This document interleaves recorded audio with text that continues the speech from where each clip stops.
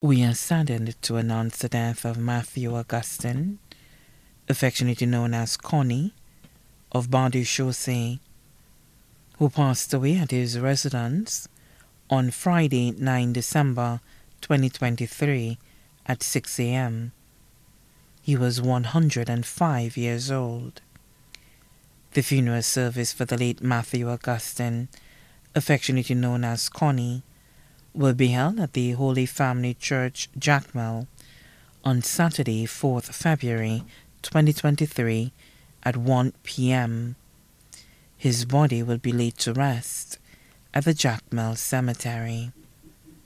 May he rest in peace. His body now lies at Crick's Funeral Home Limited, Vide Bouteille.